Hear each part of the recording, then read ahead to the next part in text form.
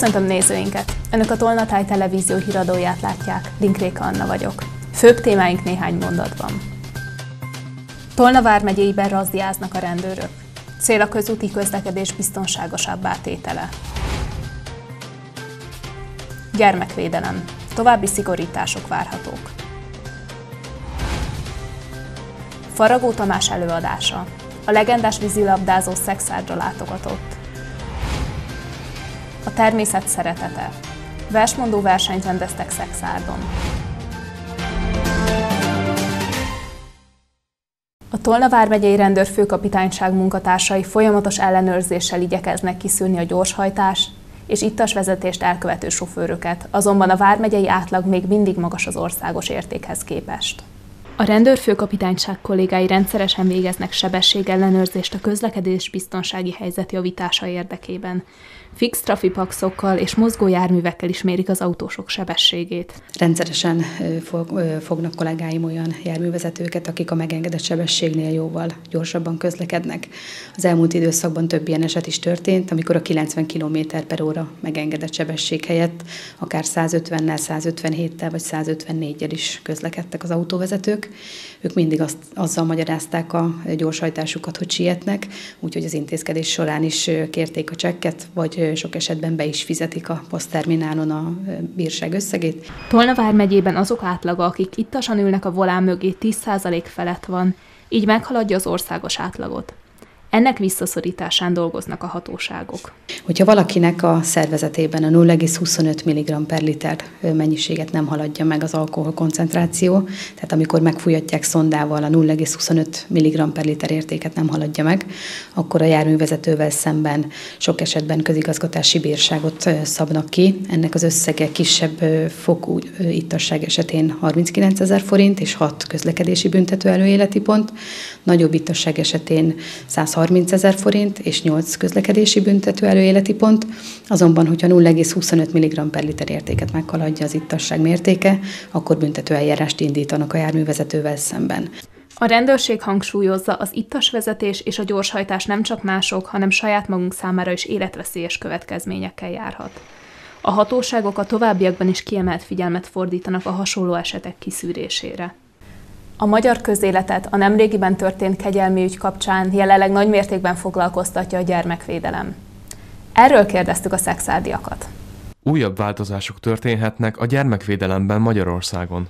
Egy új alaptörvényi módosítás szerint kiskorúak sérelmére elkövetett szándékos bűncselekmény esetén senkinek sem járatnak egyelem. Vannak, akik szerint új törvények meghozása nem elégséges, az egész gyermekvédelmi rendszert kéne megváltoztatni.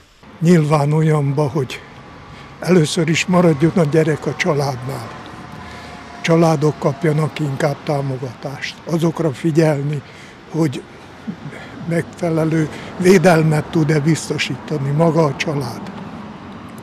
Aztán, hogyha úgy adódik, hogy valamilyen otthonba kerül, akkor az otthonba lehetőleg biztosítani neki azokat a körülményeket, mint hogyha a családban élne. A jogszabályok szigorítását sokan követelik. Erősíteni kell mindenhogyan a gyermekeknek a védelmét, viszont tiszta módszerekkel. Az, hogy beszélünk róla, nem beszélünk róla, megpróbáljuk elsumákolni, megpróbáljunk, megpróbálunk alájátszani, az az én részemről nem elfogadható. A legtöbben egyetértettek abban is, hogy országunkban a gyerekek jelentik a jövőt. Körülményeket, a lakatási körülményeket, elindítani őket a jövőbe, akár lakással, akár pénzzel, akár mivel, valahol, valahol kezdjenek. Nincsenek szülők, akik segítsenek nekik. Én úgy gondolom, hogy ez kéne. A gyermekvédelmi intézmények dolgozóival kapcsolatban több párt is a pszichológiai ellenőrzések erősítését szorgalmazza. Ezzel a kezdeményezéssel is több választható egyetértett. Pszichológiai vizsgálat minden gyerekekkel foglalkozó személynél, és fokozott ellenőrzés is. Meg a szülő, hát egy-két szülőnél is esetleg. A gyermekvédelmi törvények Magyarországon nagy mértékben legutóbb 2021-ben módosultak.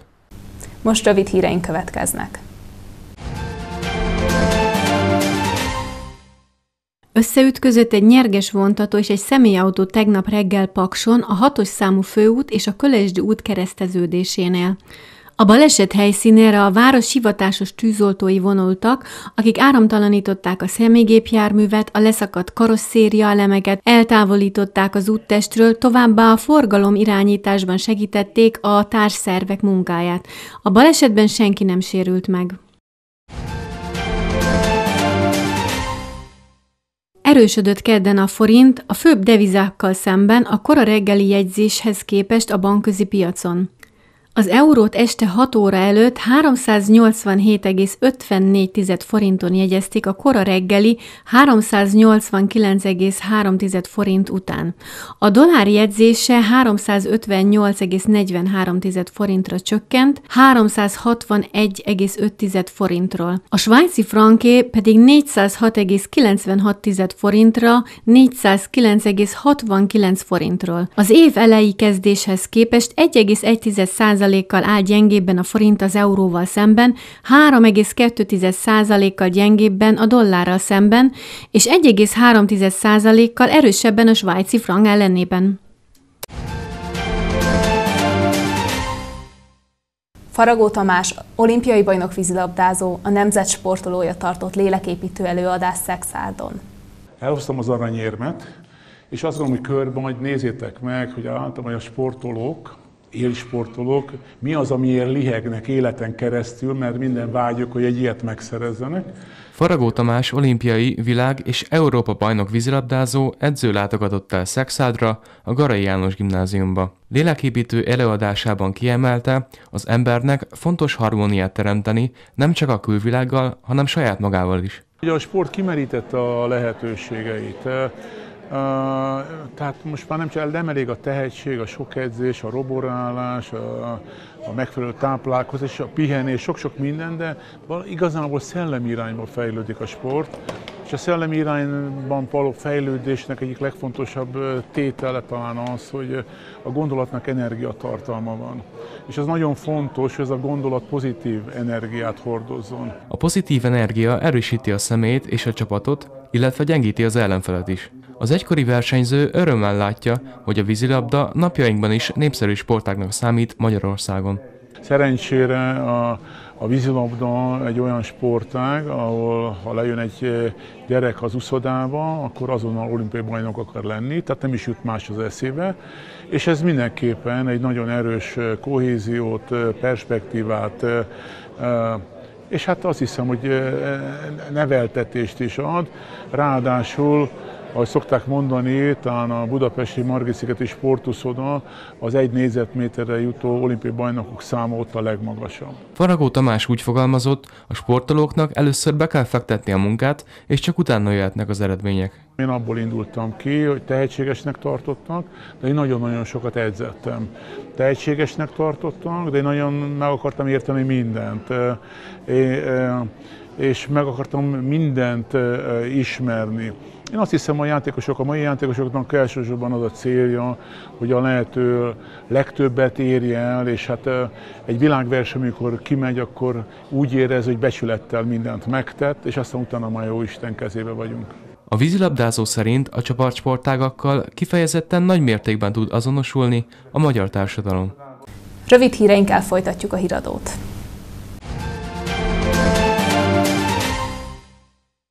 Az Országos Rendőrfőkapitányság február 25-ig országos razziát tart a közutakon, így Tolna vármegye több helyszínén is.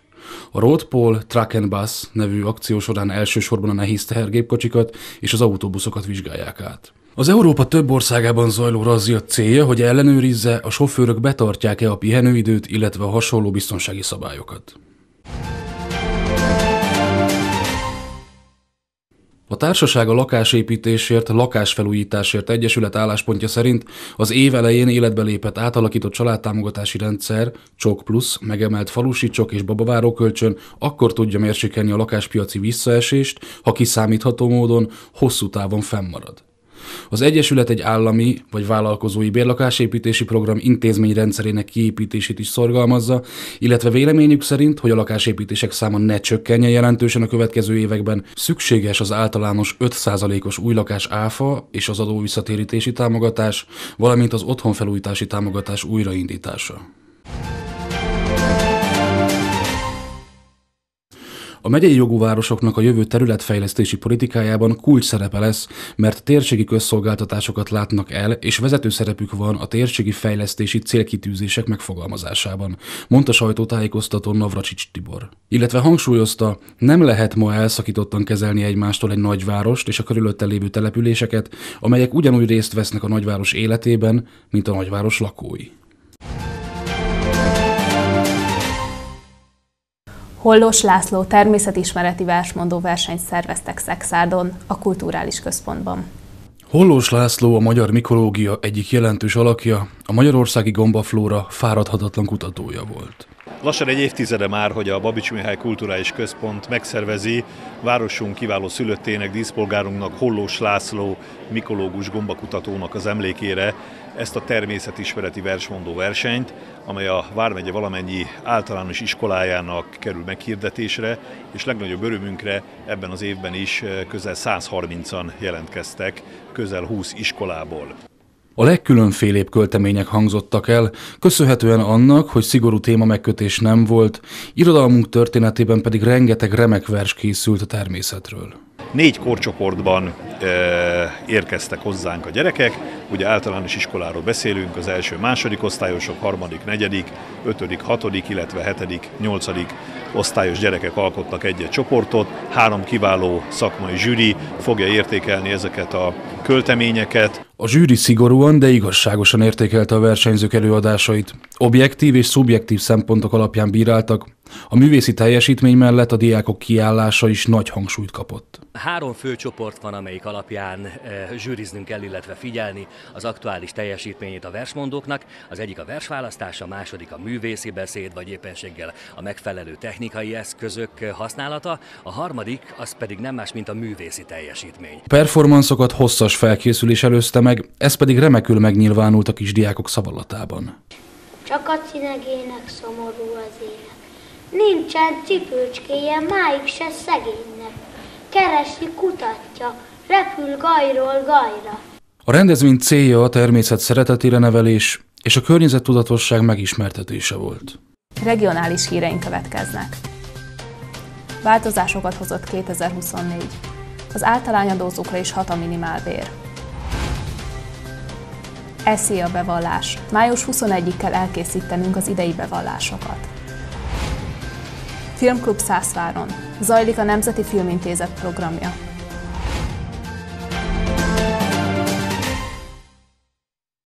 Az emelkedő minimálbér hatott az általányadózókra is. Megváltozott az adómentes értékhatár, illetve a járulékok összege is. Az újdonságokról a Baranyai NAV sajtóreferense beszélt stábunknak. A minimálbér emelkedésével változott az általányadózásnál figyelembe vehető adómentes értékhatár. Ezzel együtt a TB járulék és a szociális hozzájárulási adó összege is tudtuk meg a Baranyai NAV sajtóreferensétől. Az általányadózó egyéni vállalkozóknak a jövedelem számításnál a ténylegesen folytatott tevékenységből származó bevételt és a kapcsolódó költséghányadót kell figyelembe venni. Az általányadózó egyéni vállalkozónak nem kell személyi jövedelmadót fizetnie, hogyha az általányadózásból származó jövedelme nem haladja meg az éves minimálbér felét, azaz az 1 millió 600 800 forintot. Ha az adómentes értékhatárt meghaladja a jövedelem összege, akkor is csak a felettes rész után kell személyi jövedelmadót fizetni a negyedévet követő hó 12-ig. Nem kell lemondaniuk azonban a kedvezményekről. Az általányadózó egyéni vállalkozó is érvényesítheti az adóalap kedvezményeket. A főállású általányadózó egyéni vállalkozónak meg kell fizetni a járulékot, legalább a minimálbér, vagy ha középfokú végzettséget igénylő tevékenységet folytat, akkor a garantált bérminimum után. A szociális hozzájárulási adónál megmaradt a 12,5%-os plusz szorzó. A másodállású, vagyis heti 36 órás munkaviszony tanulmányok mellett az általány adózó egyéni vállalkozónak nem kell esziát, TB járulékot és szocót fizetnie addig, amíg az általányban meghatározott jövedelme nem haladja meg az adómentes értéket, tudtuk meg a Baranyai NAV sajtóreferensétől. Közeleg a személyi jövedelemadó bevallás időszaka. Az adóhatóság az idén is elkészíti a bevallásokat azok számára, akik ezt kérik. A bevallásokat és az adó 1 plusz 1 százalékról szóló nyilatkozatokat május 21-ig kell beadni. Az elmúlt hetekben a munkaadók megküldték munkavállalóiknak azokat a munkáltatói igazolásokat, amelyek az éves adóbevalláshoz szükségesek. Ezeket a papírokat nem kell beküldenünk vagy bevinnünk az adóhatósághoz, egyszerűen öt évig meg kell őriznünk, illetve a bevallások során segítségével ellenőrizhetjük a feltüntetett adatokat. Előfordulhat, hogy az adózónak van olyan jövedelme, illetve adókedvezményre jogosult, ami miatt módosítani szükséges a tervezetét, illetve azt meg kell jegyeznem, hogy az egyéni vállalkozóknál, őstermelőknél és áfás magánszemélyeknél nem működik ez az automatizmus, és nekik mindenképpen ki kell egészíteniük az egyéb tevékenységből származó jövedelmekkel és költségekkel a tervezetüket, illetve jóvá is kell hagyniuk. Minden más esetben, hogyha klasszikus értelemben vett magánszemély ha nem csinál semmit, például meg se nézi a bevallási tervezetét, abból akkor is bevallás lesz május 21-én. Az adóbevallásoknál az idén is vannak időpontok és határidők, amelyekkel jó, ha tisztában vagyunk. Az első ilyen dátum alig egy hónap múlva esedékes. Március 15-től lehet megtekinteni a bevallási tervezeteket azoknak, akik rendelkeznek KAU azonosítóval, például ügyfélkapuval vagy részleges kódú telefonos azonosítással ők az e-szia oldalon tudják megtekinteni, tehát nem a tárhelyen kell keresni, ezt is gyakran tapasztaltuk az elmúlt években, hogy többen szóvá tették, hogy ők a tárhelyükön nem találják a tervezetet, de külön erre a, célra létrehozott oldalon, az elsia.nav.gov.hu oldalon lehet megtekinteni, és néhány kattintással, ha szükséges, módosítani a tervezeteket. Ugye azok, akik nem rendelkeznek KAU azonosítóval, kérhetik március 18-áig a bevallási tervezetek papír alapú postázását, erre számos lehetőség van, például a 18-19-es telefonszámon, a honlapunk segítségével, egy meghatározott nyomtatványon, vagy pedig SMS-ben a 0630 344 43 04-es telefonszámon, ahova az SZIA szót szóközzel elválasztva az adóazonosítójelet, szóközzel elválasztva a születési dátumot kell írásjelek nélkül megküldeni. A bevallásokkal kapcsolatban további érdekességek, konkrét példák fél nyolckor kezdődő aktuális című műsorunkban láthatók. Ha valaki meg Filmklubok indultak országszerte, melyek a Nemzeti Művelődési Intézet és a Nemzeti Filmintézet közös projektjeként valósulnak meg. A Baranya vármegyei Szászváron is bekapcsolódnak a programba, és már a harmadik filmet vetítették a településen élőknek, melyek megtekintése után a látottakat is megbeszélte a közönség. A filmklub élet beindult Szászváron is. Igazi mozis hangulatot akarnak felidézni a szászváriak, melyhez pattogatott kukorica is jár. A várban rendezték be a klubmozit, és már két filmet meg is néztek nemrég. Most a nyugati nyaraláson a sor. Ez az idős asszony szívesen jött ide, időskora ellenére nyitott a világra. Nehezen mozdul ki az ember, mivel hogy már idős, és ha valami ilyesmi van, akkor jövünk, mert tájékozódik az ember egy kicsit, mindenről egy kicsit. Ez az idős úr fiatal korában havonta 8-10 filmet is megnézett. A film után következő beszélgetés is érdekli. Az az igazság, gyakorlatilag mindenkit ismerünk itt, ugye mert egy kis település, de hát a beszélgetés is sokat számít, hogy kinek mi a véleménye magáról a filmről. A Nemzeti Művelődési Intézet és a Nemzeti Filmintézet közös projektjeként tíz alkalommal vetítenek filmeket a pályázatba benevezett településeken. Baranyában is számos kis település nevezett be a programba, melynek megvalósítása folyamatban van. Egyes helyszíneken már a harmadik filmet vetítették le, mint például Szászváron, melyek után beszélgetés klub élet zajlik. Feldolgozzuk a, a filmet és a film témáját, én, hogy nagyobb kedvet csináljak, nem egy klasszikus moderált beszélgetést hozok, hanem általában játékkal készülök a, a résztvevőknek, és ezt nagyon élvezik, már nagyon várják a film végén, hogy elkezdjük a játékot. És ahogy megbeszéljük utána a kvízkérdések eredményeit, ezzel átbeszéljük a történéseket is. Minden alkalommal egyre több néző érkezik, próbálják egyre jobban népszerűsíteni a filmklubot. A Nemzeti Filmintézet 50 filmet bocsátott a számukra, ebből 25 klasszikus és 25 kortárs magyar alkotást. Ebből választanak ők tizet. Az egész programnak a célja a magyar mozi népszerűsítése, illetve a közösségépítés. Nálunk úgy zajlik, általában a filmklub vezetőre van bízva, hogy milyen filmeket fog vetíteni, de nálunk ez úgy zajlik, hogy megbeszéljük, illetve az is előfordul, hogy a játék nyertese választja a következő filmet. A mai digitális világban nehéz ilyen filmklubbal és vetítésekkel foglalkozni, mondta Szászvár polgármestere Vidák Krisztina. Amit én mindenképpen kiemelnék, hogy ugye ez egy közösségformáló erő. Lehet most már itt érezni, hogy jönnek-mennek az emberek a várba szombat este. Nagyon fontos, hogy alternatívát tudjunk kínálni akár a fiataloknak. Vannak pedagógusok, akik járnak, illetve egy pedagógus van, aki jár erre a filmklubra. Azt gondolom, hogy talán ő is fontosnak tekintheti azt, hogy itt van egy ilyen lehetőség, és akár a gyerekek is ebbe be tudnak kapcsolódni. Ami nagyon jó, hogy például az első film a Tanú című film volt, ami tudjuk, hogy egy ikonikus, egy nagyon fontos film, azt gondolom, hogy magyar filmtörténetben. Ugye magyar filmeket tekinthetnek meg az ide látogatók, és hát én is talán a tanút, nem tudom, talán 20 évvel ezelőtt láttam, úgyhogy most lehetőségem volt itt megtekinteni. Otthon nem néztem volna meg a filmet egyébként, de itt ebben a közegben nagyon jó volt, csináltunk egy kis pattogatott kukoricát, tehát tényleg, mint a régi mozi hangulatot próbáltuk visszahozni. A filmklub életbe indult Szászváron is, a Nyugati Nyaralás című produkció teltházat vonzott. Végül mutatjuk Tolna vármegye híreit még egyszer, röviden. Tolna vármegyében razdiáznak a rendőrök. Cél a közúti közlekedés biztonságosabb átétele. Gyermekvédelem. További szigorítások várhatók. Faragó Tamás előadása. A legendás vízilabdázó szexárdra látogatott. A természet szeretete. Versmondó versenyt rendeztek Szexárdon.